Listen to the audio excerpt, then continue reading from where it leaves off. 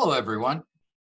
My name is David Grindle. I'm the Executive Director at USITT, and I'd like to welcome you to our worldwide conversation on the state of theater and getting our industry restarted. I'd like to say thank you to our partners at Wenger and JR Clancy for sponsoring and co-hosting this with us today. And I'd like to start with a brief video letting you know, if you're not familiar with Wenger and JR Clancy, a little bit about who they are.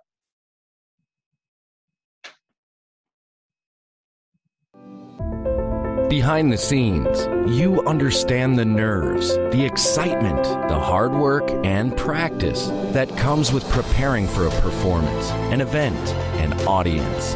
We live for this. We design the products that help make performances come together, and we engineer the products that you can trust so that you're confident from the first rehearsal to the final curtain call.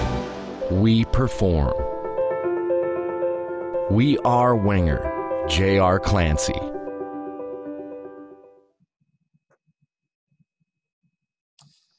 And with that, I'd like to uh, introduce my colleague Toby Smith of Wenger.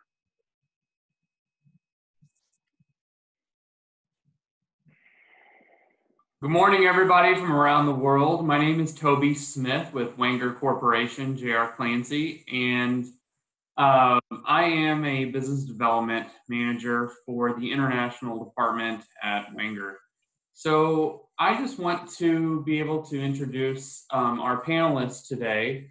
So if we could go around, uh, I guess, our circle and uh, find out, you know, give us a brief interview or overview of, of yourself and uh, where you're from. And Gabi, uh, let's start with you.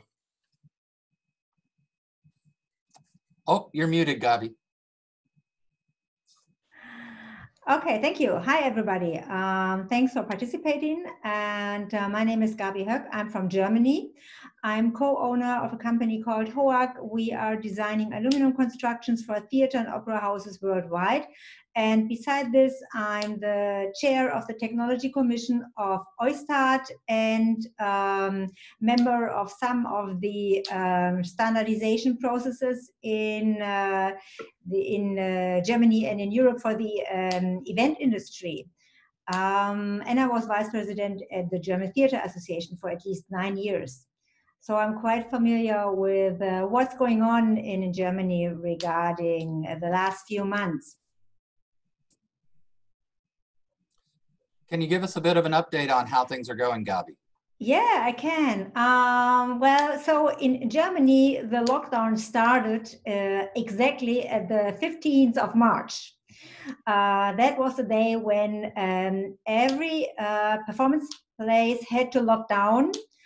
And uh, I think the first shock was because it, it, it came all of a sudden. Nobody was prepared because nobody expected to, that uh, really a lockdown is coming in. Uh, I think most of the people had this for the first time, this kind of a situation. So um, the first few weeks, I think, just were um, that uh, society had to overcome this uh, deep sitting shock that was also fueled by the media and the pictures that we uh, uh saw from Italy, because Italy was the first hotspot of the pandemic uh, in Europe. And it was really frightening uh, seeing these pictures and seeing the northern part of Italy, how uh, how they had to handle uh, that um, many infections and so many people that died from the infection because they couldn't um, couldn't take care of them. Uh, but also at the same time, uh, the cultural industry um, uh, started to started to set up working groups and um, get connected via all the networks we have in Germany and also with our neighbors, the German-speaking countries, Austria and Switzerland. Um, we started a network um, sharing our situation and also sharing ideas and visions uh, how we can handle the situation of having this lockdown.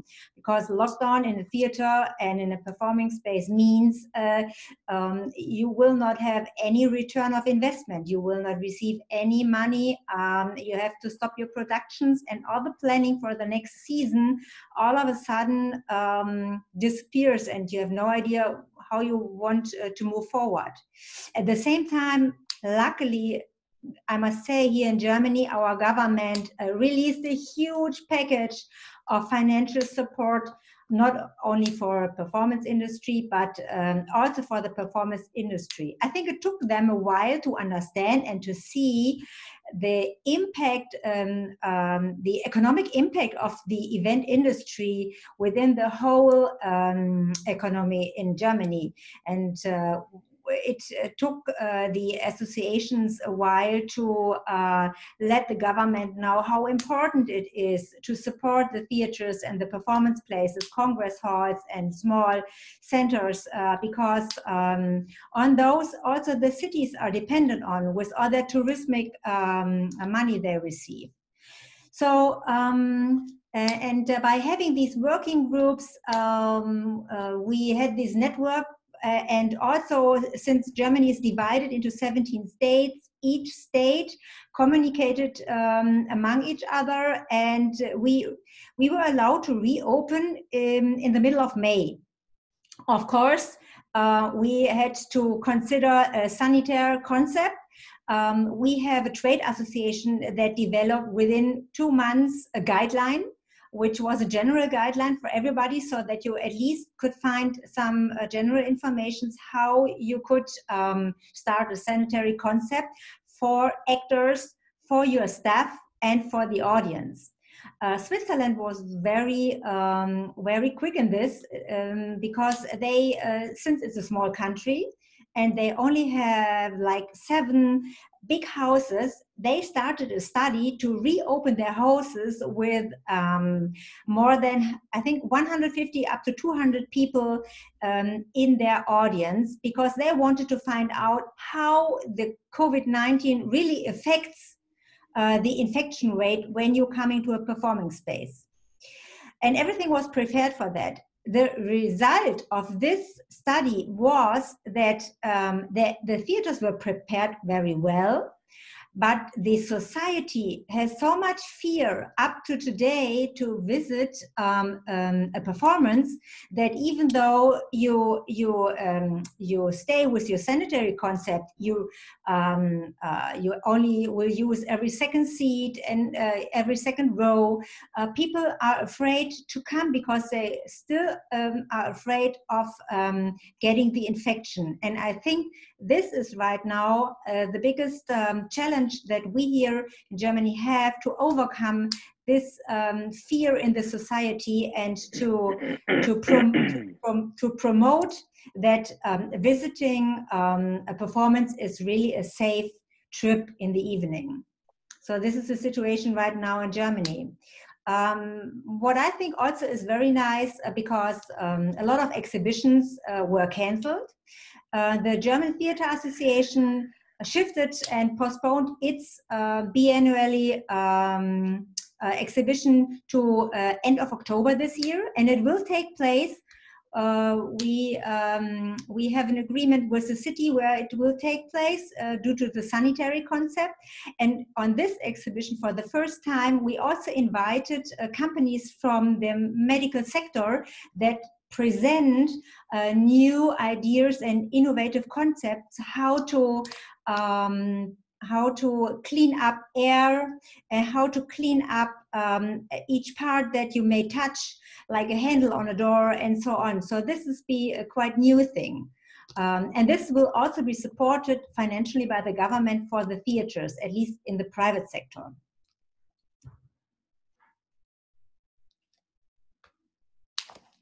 Great. And uh, let's move forward with Juan Pablo Rozo, who's on the phone from Bogota. Okay, well, uh, good morning from Colombia. Uh, afternoon, evening for some of you. And thank you for this invitation. It's nice to share uh, how are we dealing with the emergency in our market around the globe. Uh, first, I will introduce myself. I am Juan Pablo Rozo. I'm an architect um, dedicated to the design and renewal of venues and theatrical facilities, uh, well, let's say around Latin America. I run my, my, my own company. It's called Arquitorium. And well, here we are. Um, about uh, Colombia, well, the mandatory lockdown uh, began on March 25th. Uh, we are currently in, in lockdown and at least until August and shortly beyond, I would say. During this time, all the venues have been closed, and for now, there is no date in sight for reopening with present audience. It's sad to say, but during the lockdown, many theaters have declared bankruptcy, uh, especially private ones, and the situation of the large ones has been or has become more critical. Last week, the Colombian government unveiled protocols for theaters and concert halls to, um, to the return of production of artistic content to be transmitted digitally. Uh, Bogota, the capital city, has not been able to take advantage of this alternative uh, due to measures uh, taken locally uh, to stop the pandemic but in other cities they, they have. Um, some theaters have gained experience in digital broadcasting thanks to the fact that they have been transmitting presentations uh, with audience for several years now. And during the time of the quarantine, uh, they have been um, uh, retransmitting uh, this content that, that they took years before and even taking advantages of alliances with other theaters in Latin America exchanging content. I guess now the target is to continue strengthening the digital alternative and continue supporting the artist in order to generate new content.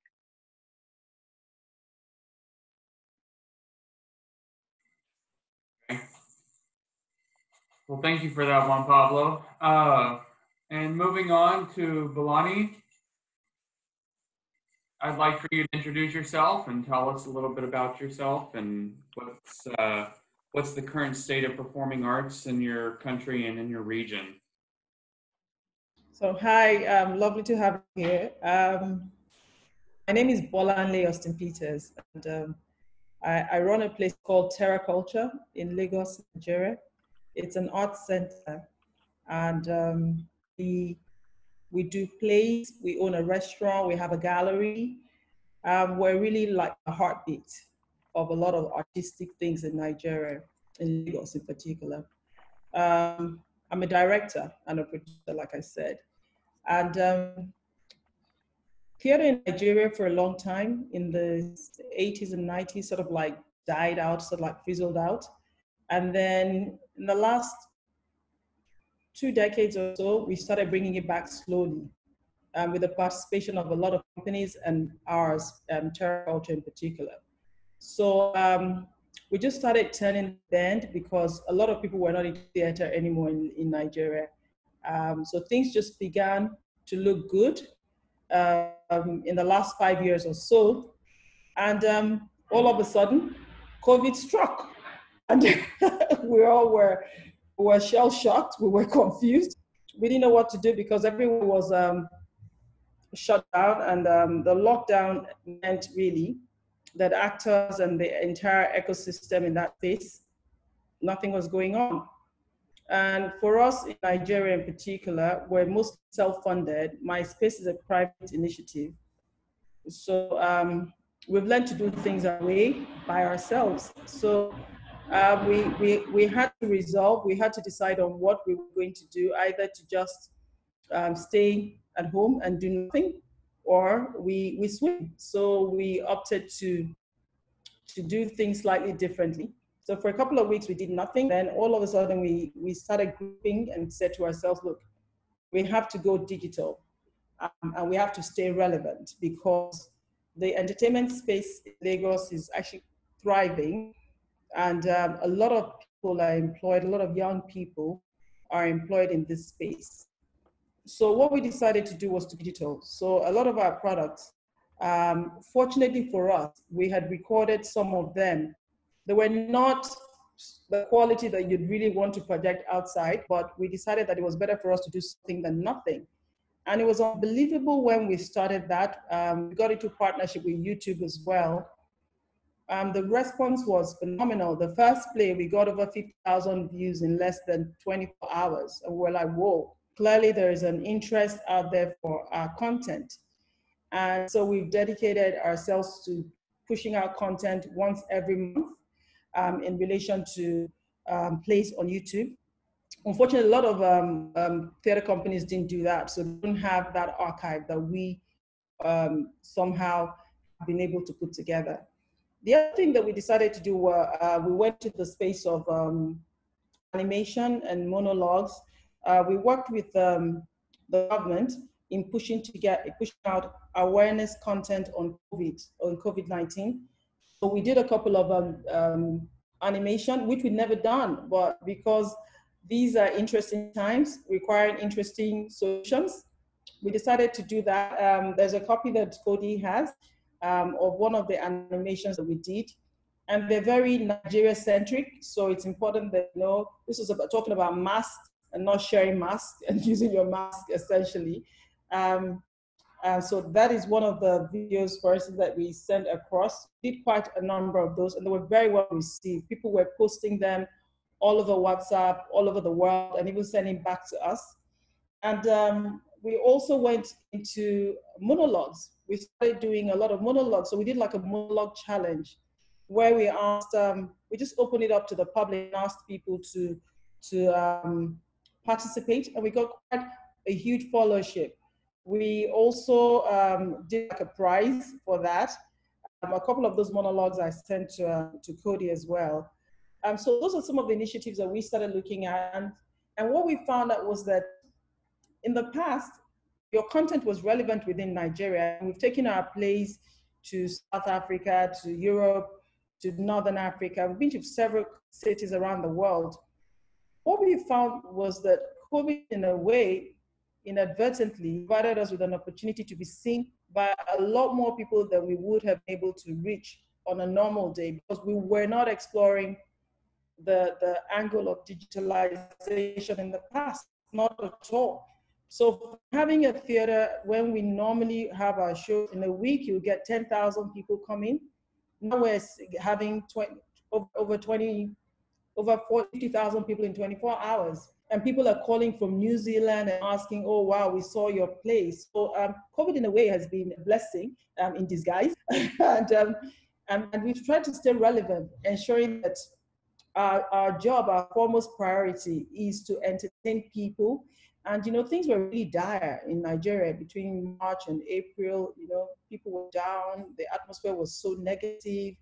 And just being able to bring that joy into people's homes, people were excited and texting and asking, what is going to be the next show? What are we going to be seeing? We realized that it's not always about money, it's about the value that you bring to the table.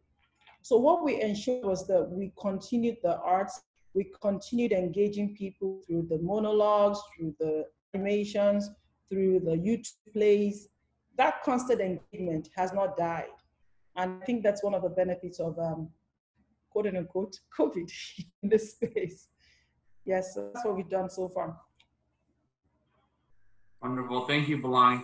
Uh, moving on to uh, Wang if you could tell us a little bit about yourself and current state. Yeah. Sure. Hello, everyone. Uh, it's, it's a hello from Taipei, Taiwan. My name is Wan-jung Wei. I am the executive director of OISTAT. OISTAT is an international organization for scenographers, theater architects, and technicians. We, oh, at OISTAT, we have 30,000 members in 50 countries. You can say that OISTAT is a network for global theater makers. We come together to share ideas, innovations, and solutions, which is important in a situation like a global pandemic. In terms of the situation in Taiwan, Taiwan is doing quite good in this pandemic because we as a whole society prepared very well for this pandemic. Uh, I'll give you some example. Like we never went to lockdown. The universities, schools, and restaurants are open. You could say that people in Taiwan, we are living a normal life. So uh, for now, we only have seven days deaths in terms of COVID-19. We have 451 confirmed cases. And then for now, only four COVID-19 patients are still in hospital. The rest 440 are recovered and discharged from the hospital. So, um, and back to the performing arts, our Ministry of Culture has budgeted 49 million US dollars to help the artists and companies and theaters in March. In terms of the regulation, because we are doing quite good. So um, the biggest impact was that back in March, the government introduced a regulation that is for events that has 500 people outdoor or 100 people indoor are not allowed. That was in March. For theaters, that means a theater can only sell half of the seats because you cannot have more than 100 people indoors, right? So uh, in April and May, shows are canceled or postponed. But at beginning of June, the regulation is removed. So theaters are back in operation now.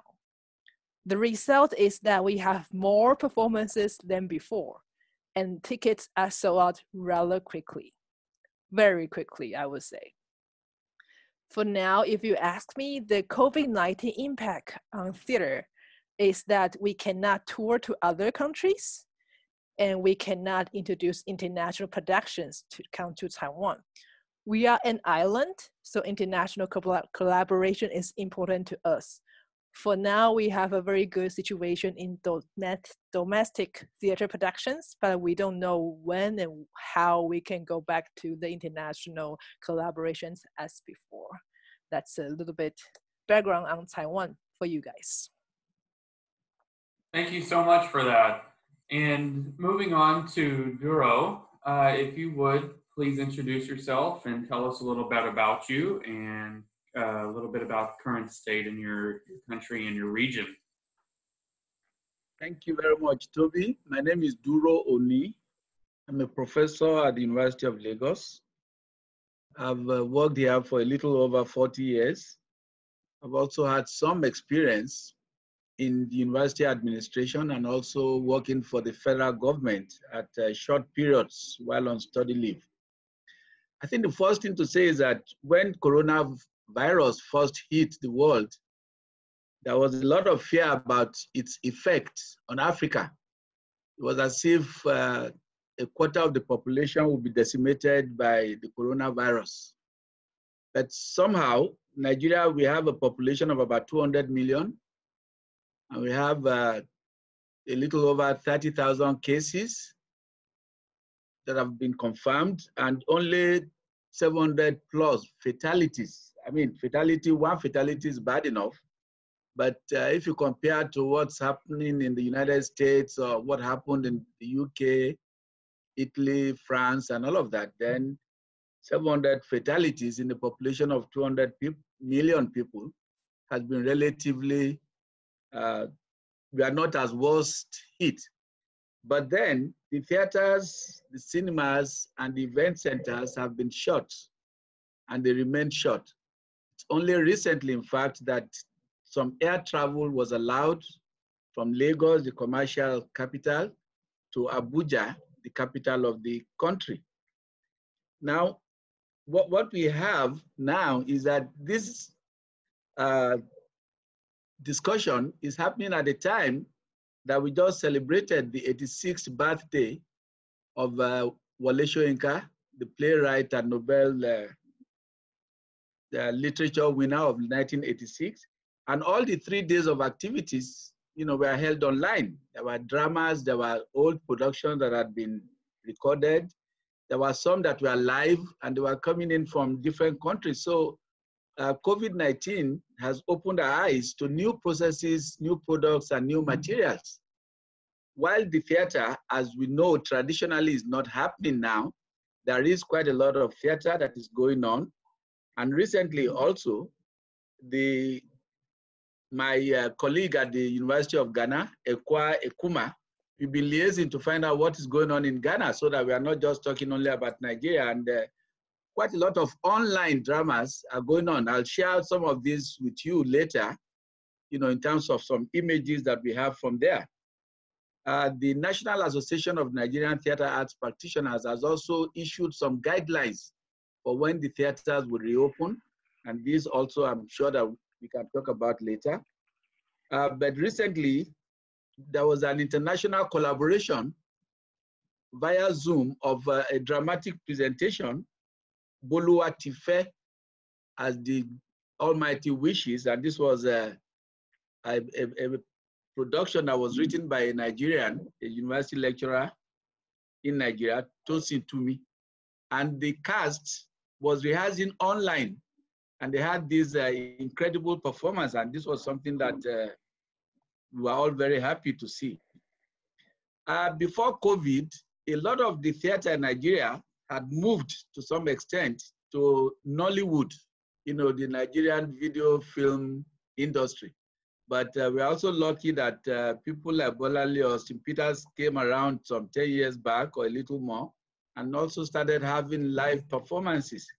At the moment, the university theaters are all shut because there is some uh, strike action by one of the unions on the campus. So the university theaters are shut. But then there are a lot of dramatic skits that are coming out from the universities and also from the cultural centers. These are like purpose hit uh, little skits, some of them for two, three minutes, some of them a little bit longer, and uh, some monologues. And they are addressing very, very germane societal issues. And I believe that as we go along, things are, of course, going to expand a little bit more to what may happen. So I must thank uh, Ekwa Ekuma from uh, Ghana for some of the uh, images that she sent to me for presentation at this uh, conversation. Thank you. Thank you, everyone. So now that we have a, a bit of an understanding of the variety of approaches going on, um, can we talk a bit about what steps you're taking to prepare to do theater potentially, uh, or in the cases one run um, to do theater? What are the some of the ideas? I know Gabi, you noted that that the um, the confederation between Germany and Switzerland and Austria has developed um, some understanding. Uh, Vicky Cooksley, uh, who is with Entertainment Technology New Zealand, has posted um, their guidelines um, that include contact tracing. Um, and that's a big issue, especially when we talk about audiences coming and large groups. How are we handling contact tracing um, if we're bringing people together? I know there are some some interesting solutions. Um, I'd like to go throw back and start with Professor Oni um, because I know that that uh, you have told me about some of the new ways people are doing theater to maintain the social distancing uh, in Nigeria. Well, in doing this, can I quickly share my uh, presentation? Please. Right. Now let's hope, I know that we did rehearse this yesterday, so let's uh, hope that I can get it going. Uh,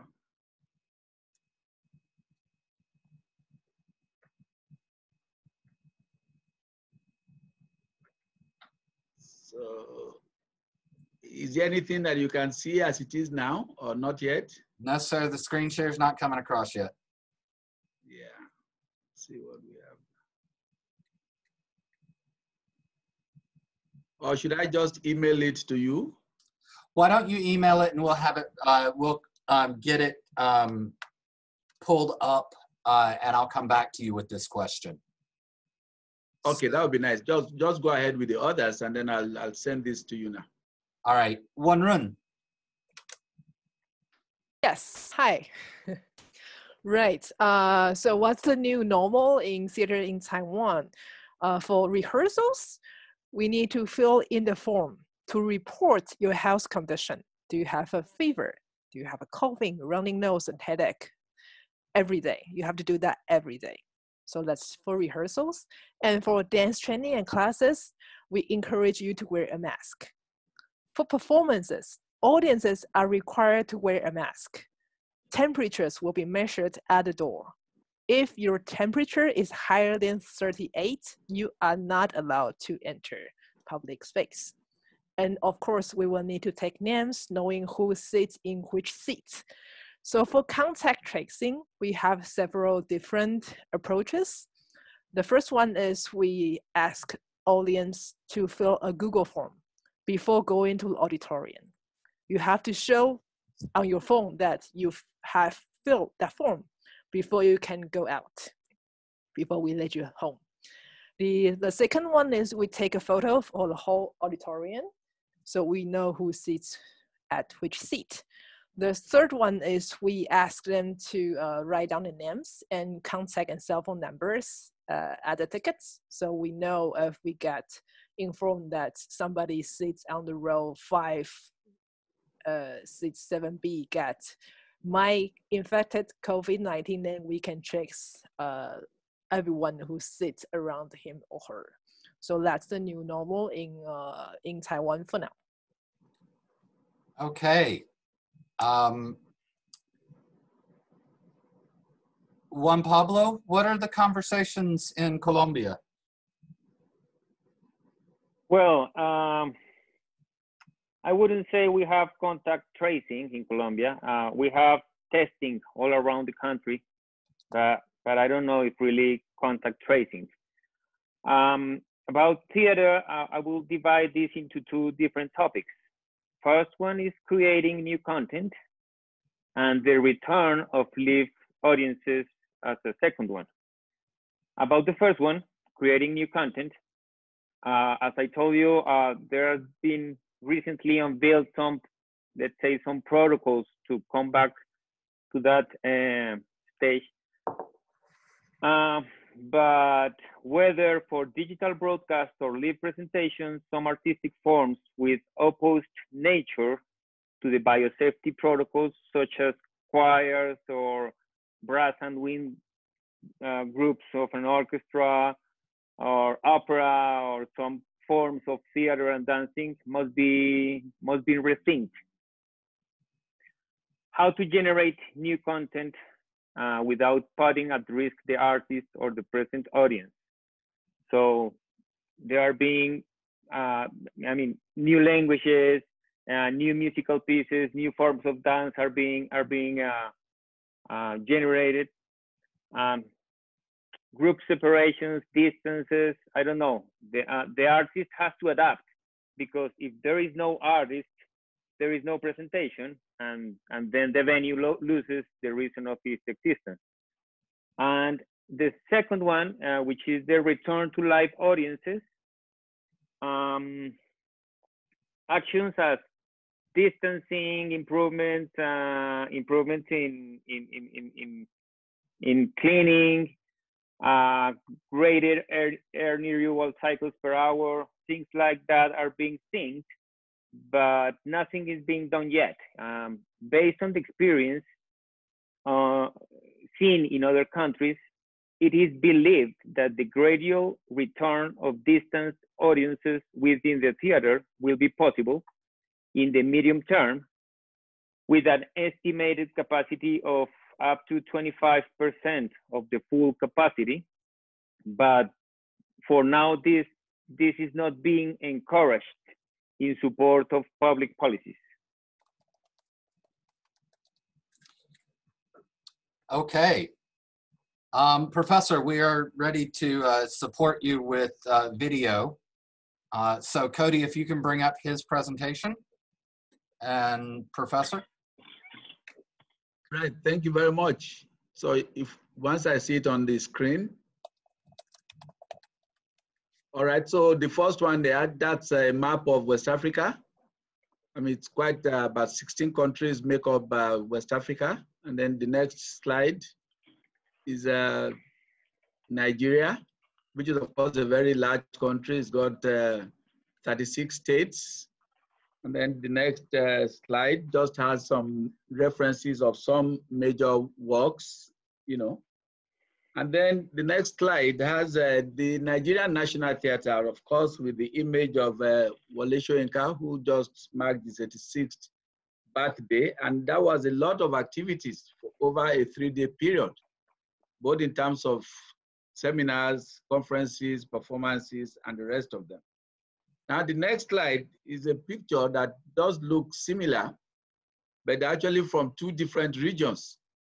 The one on the left is the National Theatre of Nigeria, and the one on the right is the Bulgarian Hall of Sports and Culture in Varna, which was where the design of the National Theatre of Nigeria was taken from.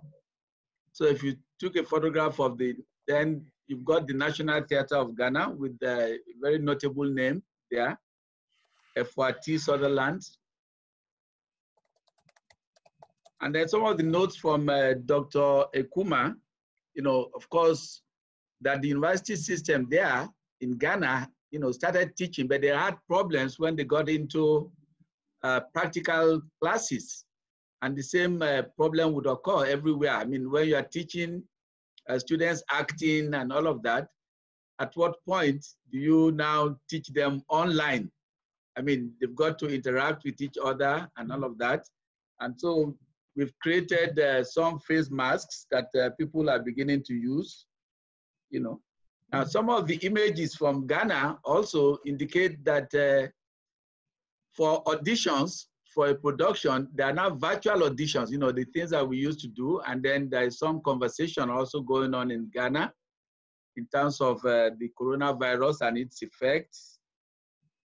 And then the next image actually has a performance and you could see the telephone as the image there that uh, they're going to have a comedy show and people are going to be required to pay 20 uh, cedis, Ghanaian uh, cedis. And so that's, the, that's like becoming the new norm. But of course, we, are, we cannot stay within this new norm over a period of time. The next image is the Muson Center of Nigeria, and that has also been shot through the period of the, the coronavirus. And the next image is a Nollywood, as the Nigerian video film. And uh, of course, that also has been shut down because of the nature of the contact. I mean, you've got people wanting to make do makeup for characters and all of that, and they are literally just sitting on their faces. And so that's not something that's going to. But recently, the federal government of Nigeria set up two committees. You know, a, one to look at the effects of the COVID-19, and they made uh, ex-comedian Ali Baba, you know, the chairman of that committee. Of course, it's a very large uh, committee. They've got uh, so many, 22 members of them. But also the Lagos state government, where the headquarters of the cultural area in Nigeria is, also has set up uh, a committee to look at uh, the issues of the COVID-19 vis-a-vis the situation in Lagos. Now that's an image, the next one is an image of the guidelines by the Nigerian National Association of Nigerian Theatre Arts Practitioners. And that's the image there and they've uh, brought in the guidelines of how theater should be open. The next image was a performance that took place in Abuja, and it was called the drive-in theater. The drive-in theater that we knew in California was for the cinema, where the screen was very large. But this was now on a stage, but they were able to run the sound through some uh, links, and it went to people while sitting in their car so they could follow the production. And the other last that I put out is the Bulua Tife. That's a performance. And the actors were from South Africa, Nigeria, Zimbabwe, and Lesotho. Now, of course, I mean, this was something that would not have been possible normally that you are going to pull actors from across the world taking part in one production. But these are some of the new opportunities that are opening up given the coronavirus. Now, recently, the cinema owners of Nigeria also said, look, if you are opening up the airport, we have the same protocol. People arrive at the theater, then they are ushered into the hall. You can maintain social distances. And they can then, you know, watch their, their, their cinemas. So we expect that that's something that would also come up for now, also with the theater itself. So thank you very much for that. Thank you. Thank you, Professor. Um, Gabi, uh, if you could talk a bit about the protocols uh, in the German area of Europe, and also, what do you think? Do you think some of these protocols will become permanent, or are they going to be temporary uh, yeah. for the pandemic? Well, uh, for, I think um, I have to say that especially in Germany, um, we we in, the, the government introduced an app, a tracing app, uh, three weeks ago, and it was a long discussion among the society uh, because especially the Germans, um, they have a special relationship with data protection. So data protection is a huge uh, topic um, whenever it, it's going to be applied. So, so it was a hard time to to uh, develop an app that um, where the people feel trust in that not too much personal informations they are given away. Um, we are 80 million people in Germany, um, and uh, we have been told that uh, if 15% of the uh, society download the app, it will work properly properly uh, to um, to um, define where we have a hotspot of uh, the pandemic. Um, we reached this number somehow. We have like 12 million people using this app right now, but um, it's not discussed among the event industry in the theaters. Um, and I think we have to divide there uh, this um, this event industry where we have the performance space in the theater and the opera houses, and then where we have the event spaces uh, like outdoor rock and roll and um, concerts um, and the exhibitions, and uh, also you know events in a museum. This is totally different. Um, we are not well prepared like uh, Wan-jung was telling it in Taiwan with uh, temperature measuring systems in front of the entrance. What we are well prepared for is the n- normal standard um, sanitary concept like um, keeping a distance, um, helping people to do so, uh, marking lines on the floor, uh, guidelines in one direction you have to go uh, so that people do not cross uh, directly face to face, um, and uh, they they uh, they um, they support with with um, enough soap and um, other sanitary um, solutions you need.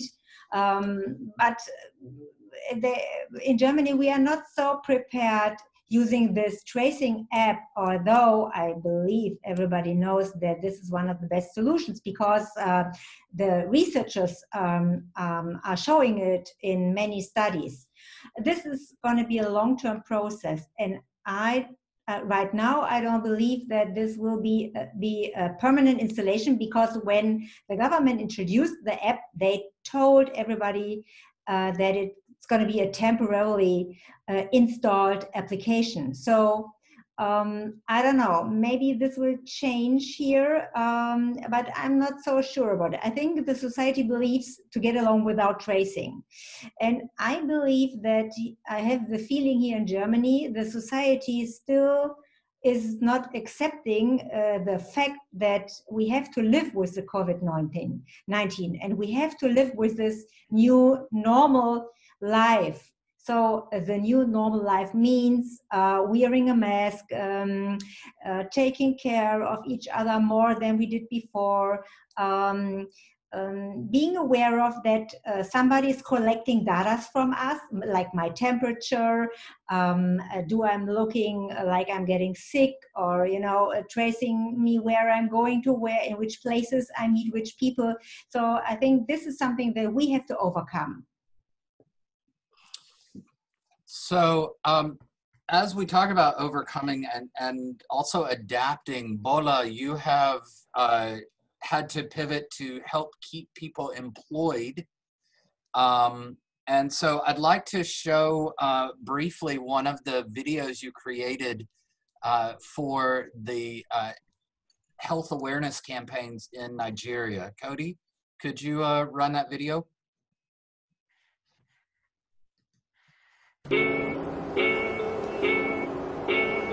Uh, uh, my guy, Miss Mascara. We no, another mask now you tried to do. Yes, oh, I was the one of yesterday. Iron, uh, I can't keep him for house. No shaking. you really get time for this your mask hunting, no? Yes, eh. Ah, who know what make coronavirus catch her? Go get time for mask. oh. But I just say they say once we wash hand, no wahala again. No be there in end, oh. You know no say corona dey fly. True now, winch. Ah, This one pass winch, oh. As me with you stand so, you see as I give you gap, eh? Eh, now, that one now your way now. Since all this something start. Eh, Eh. So as we dey so, me I cover, you sef you cover. If you sneeze or you cough or you yawn or even as we dey yarn sef, your spit come fly. You no quick get enter my nose or my mouth. You no go quick get am. Me sef I know for mu go for koro. Mm. So the thing they fly as we dey talk so. Or even as I ask, as I cough. Eh, wait, um, shift three feet. Eh? Then you get you get another copy or have you borrowed this one when you wear so? My guy, which level now? Buy your own, e no cost. Eh? No share mask, no shake hand. Now the level be that. This public service announcement was brought to you by the Lagos State Ministry of Health. A BAP production. Don't let it spread. Don't let it spread. That was lovely. We were, um, you know, one of the challenges I think everyone has discovered is that people don't understand how much they need the arts and artists until they're all at home watching television, watching streaming theater, watching consuming arts, and then they don't realize that they've even done it. Um, can you talk a little bit more about what you're doing there? Um, so that particular um, video animation is about is in pidgin English, so it's not uh, what you probably understand. it's about not sharing masks. You know that everybody needs to have their own, and um, all the protocols of you know staying apart and um, yeah, covering your face and nose and mouth. Um, but what we did was we did a series of those for Lagos State Government and the Ministry of Health, um, addressing all the different aspects of um, COVID-19 awareness, you know, so we did those targeting children, we did those targeting parties. We're party loving um, people, we love parties. So we did targeting that. We have all sorts, uh, looking at different aspects. Uh, but what we, we were trying to achieve essentially is to stay in the minds of people that the arts is not going away. We also helped people to heal because it was really difficult times for a lot of people in Nigeria. Um, people were not able to go out. Our government is a lot more tougher in terms of containing the spread as opposed to some countries. And I think they've done a brilliant job in ensuring that the numbers are kept low. Uh, so um, we had to keep people's minds engaged in those three months, and it's continuing um, what we've done there. And what we did also was we took um, our plays um, on radio. So a lot of those plays also came out on radio, five-minute plays. Um, everybody has access to radio. Uh, radio is one thing that cuts across every income level. So that was something very powerful as well. So um, those things to keep people motivated and um, also to generate income for those in the industry. Don't forget that at this point in time, the industry, we're not talking about just the actors, we're talking about the entire ecosystem of makeup artists, hairstylists, um, so many people that are affected by this um, lockdown. And we do not really see um, an end in sight immediately in Nigeria because we're not allowed, even up till now, um, to have gatherings more than 20 people. So um, I, I, don't see theater happening anytime soon.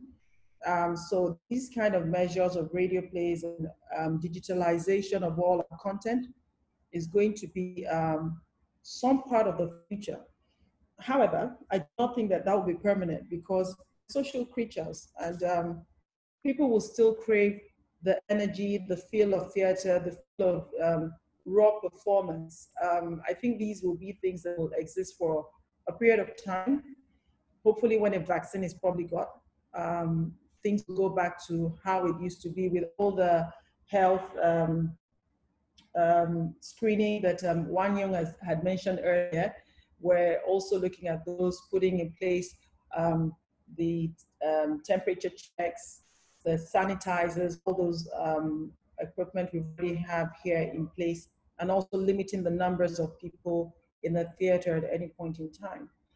But the arts has to continue. So we continue, the beat goes on. Um, a lot more people are getting a little bit more energized that this is not permanent, it is temporary.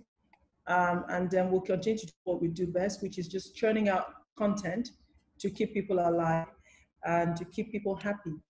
And as Prof. Um, Duro uh, had mentioned earlier, Duro Oni, um, we a lot more people having seen that people were not just sitting back and waiting for help. A lot more imagination, a lot more content beginning to come out. Um, I sent um, a, a, one minute clip of a monologue, The Challenge, and I thought it was absolutely brilliant because it was almost like we were discovering new talent even in the midst of COVID, giving young people an opportunity to showcase their, their talent. So I don't know if, um, if um, Cody can show that. It's a one minute clip of um, the monologues that we got. The, the quality was absolutely brilliant. So while Cody is is uh, queuing that up, uh, Bola, the the comments that are flying in about how much people loved the work of that animation. Um, so we will make sure to share that so that people can see um, different ways people can use the arts. Um, uh, I will. I would like to say, um, just to respond as Cody gets uh, things ready. Um, there was a question about Bola uh, beginning a collaboration with USITT. USITT as an association um, actually came, uh, was able to connect uh, with uh, Bola and Professor Oni through our partnership with the African Theater Association. Um, just as uh, we met uh, Wan-jung through OISTAT and Gabi through uh, DTHG and the association in Germany, um, we uh, we're always seeking to leverage our partnerships with different associations, and we are certainly thankful uh, to Wenger uh, for bringing Juan Pablo into our orbit as well, because I think um, he's uh, really got some great insight as to the challenges that are equal, uh, equally being faced around the world.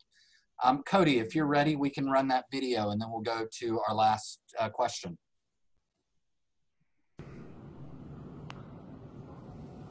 Let me tell you a very short story, Constable. Hmm? I have a dog. I have a dog. His name is Shadow. So one day I was on the couch. I was having some chocolate, and my dog wanted to have some of it. I refused. I remember he started pouting and he wrapped himself around my leg, trying to convince me to give him some, but I still refused. And so when he saw that I wouldn't give him, he just went over to one corner. And I remember he looked so sad. now might want to ask, why didn't I just give the dog some chocolate? Well, you see, Constable, chocolate makes dogs very, very sick. So I knew no matter how much he would have wanted me to give him some chocolate, I wouldn't have given him because he would have ended up very, very sick. So you could say that I had my dog's best interest at heart, which is what you should have done then. You told me yourself that that person was not a paramedic, neither is he an essential worker. So in fact, he has no business being on the road. So instead of you to educate him, perhaps he doesn't know why he has to stay at home. You collected 500 naira. God. Is this amount worth his life? Tell me, Constable, how sure are you that that person was not infected? Okay, let's assume he was not infected. What if he goes out there and infects himself somehow, goes back home, infects people? Now a bunch of people are infected just because you refuse to do your job. God! How are we supposed to defeat this thing when we are not even on the same page?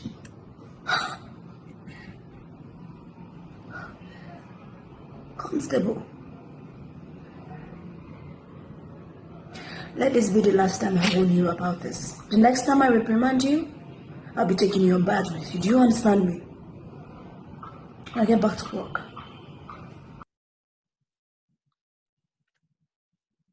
Ola, that was incredible. So we had a theme, unity, um, unity in the face of um, COVID-19. So we just threw it out there that people should come up with monologues about unity. And she had this wonderful story about just do the right thing. That was essentially what she was saying. Well, it, it really came up, you know, how can we defeat this if we're not all on the same page?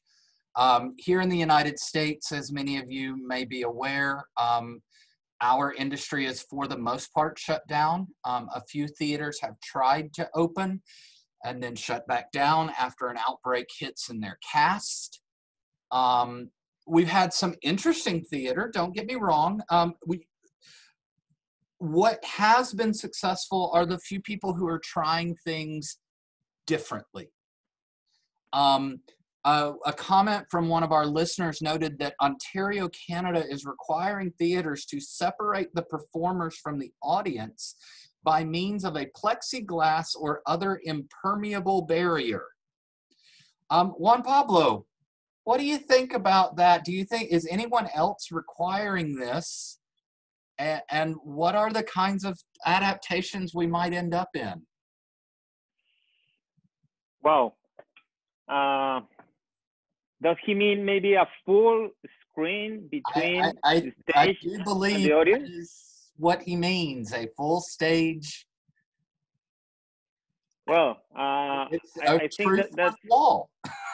that's a big challenge because uh, you will you will lose the live uh, sensation of the of the presentation. Uh, you won't have uh, direct sound. You won't have. Uh, I mean, I think it's a it's a pretty interesting idea, but but uh, it it misses the humanity of the of the live presentation. Um, well, we have had here, well, things like let's say small uh, divisions between people, between artists, between between groups. I mean, as ideas, because we have not come back to to to the real life audiences uh, presentations. But but I think we are living a time of of uh, let's say ideas shower. and and everything is valid. We have to check on everything and and just work on that. Yeah. Um, you know, there are many different ways that that we can approach theater. Uh, Professor, you had um, uh, some thoughts on the ways people are approaching outdoor theater. Yes, yes. I think that, you know, with uh, part of the problems with COVID-19 is putting people inside a contained space. A major paradigm of performances within the African continent is what we refer to as outdoor theaters, theater in the round or some arena theater, which really puts people in the open space. And I think that these are uh, areas that we must explore. I mean, not having the closeness to the audience, but at least being able to have performances in an, you know, and there are very many of these theaters. I mean, in the universities in Nigeria, the Ahmadu Bello University, the University of Abuja, the Obafemi Awolowo University, the African Studies at Ile-Ife. And virtually a lot of the cultural centers within Nigeria and the West African sub-region also have these theaters where there is that uh, space. Because when you are in an open space, of course, and you can have the social distancing also, then the idea of having uh, the, you know, those virus things running around in an enclosed theater also become problematic. So I think we should be considering more and more of the open air theater kind of performances while still maintaining the safety of the audience, the safety of the actors, and the rest of them. But we really can't stay like this forever. And uh, even when a vaccine is found for COVID-19, when are we going to have another COVID-20 or COVID-21 or COVID-22? And are we going to get back into another problem?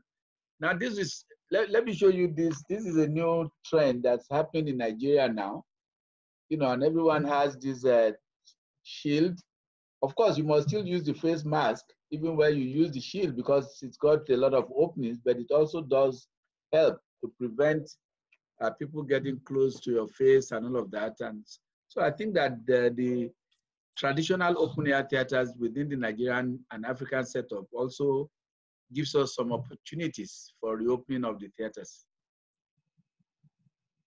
Thank you. Um, someone did note the plexi screen is a new thing uh, in as of yesterday.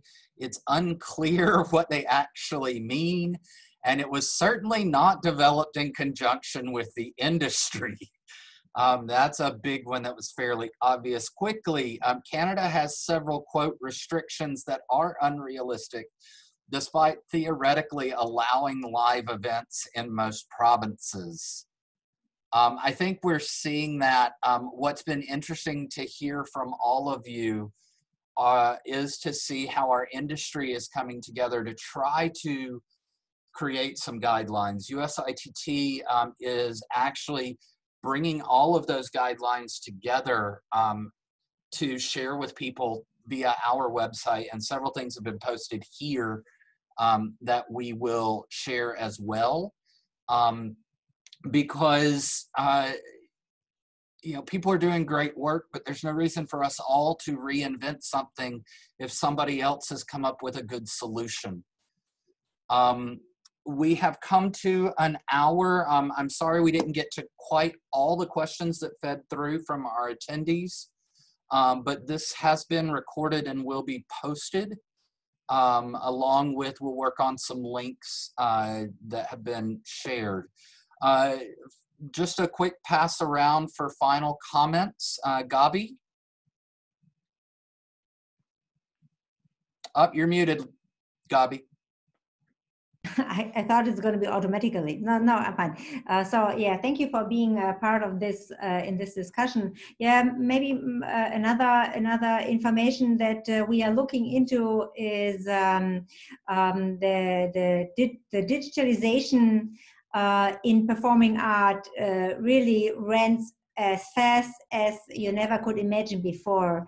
So um, not only that uh, the creative industry has so many ideas um, and the technology is, is is there and everybody can use it. We we have these also these drive-in uh, movies. They use radio frequencies uh, in the car to, to to listen to the live performances on stage. We had one month before uh, one, one, month before ago, we we had the first live performance of the opera uh, in Düsseldorf, where we had uh, an orchestra with 62 musicians outside uh, on stage with an orchestra pit that had a size of almost 50 meter width and four or five meter depth and the, the actors were on stage uh, with social distances and the I mean, one of the positive things for the audience was that since traveling was not possible and is not allowed,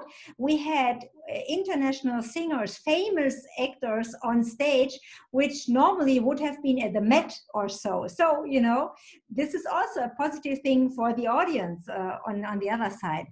That people develop, theaters develop table theater, so called table theater, where people get connected on their TV with uh, the stage uh, in their city to, to watch performances. So I think the, the use of the digital world and the digital media is something that now is on a train that, that will not stop anymore. Juan Pablo? Um, well, um, I think in the future we will well we will know a new reality a new normality, let's call it like that. Uh, theater community and and I guess I guess everybody is optimistic that throughout the next year maybe somehow the emergency will be overcome and the gradual return of audience will be effective until reaches 100% again but maybe with some changes in terms of architecture in terms of technology in terms of the type of presentations, but but I think we will keep being optimistic, keep planning for new ideas, and and keep preparing for for coming back in full. Great. Wan-jung. Yes, uh, speaking from Taiwan's perspective, I would say wearing a mask works, social distancing works. So uh, everybody is aware of the importance of wearing a mask. That is how we controlled COVID-19. I have read on the news that in some countries, people are protesting, it is my right not to wear a mask. And my uh, response to that is, yes, it's your right, but please use your rights to protect others to protect people around you. So that's my uh, response to uh, this whole COVID-19 situation. Thank you. Professor, parting words? Thank you very much. I think there is no doubt that the world has been reset and a new world order is beginning to emerge. We must continue to engage. We must continue to engage our art. We must continue to engage the theater and find new methods and new processes for doing what we do. And that's something that I think that we must continue to do, and we must use available technology, available processes to ensure that the theater does survive, and certainly we will survive the COVID-19 or any other future COVIDs that may come up. Thank you. And Bola. Um, yeah, so um, I, I think that um, digitalizing is critical. We'll need to do that, but that is in addition to the real life performances coming back again. I believe in that strongly, and I know it will happen. Um, and in digitalizing our content, we also recognize now that this is the time to also teach young people skills acquisition. So we're also doing digitalizing of um, all our um, skills. So we're teaching, we're starting an academy online, virtual, where students will learn skills such as set design, lighting, hair and makeup, everything done virtually in Nigeria. So that's our next step. So content and skills acquisition, digitalization. Thank you.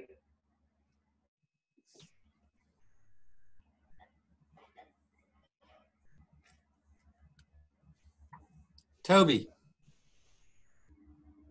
So in, in closing, um, I would really love to thank USITT for allowing Wenger Corporation, JR Clancy, to be able to co host this webinar with you, David.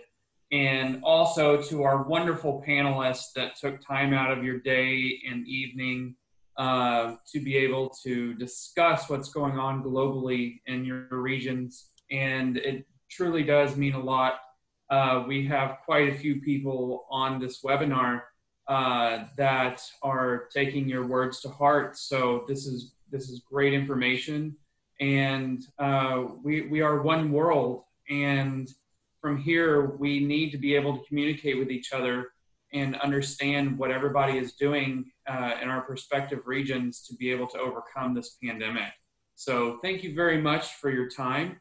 And thank you very much for allowing Wenger and JR Clancy to be a part of this webinar. Thank you, everyone. Thank you to our guests. We wish you all health and safety and uh, look forward to a time when we can all gather in person again. On behalf of USITT and Wenger, thank you all. Goodbye. Thank you. Thank you. Uh, Bye.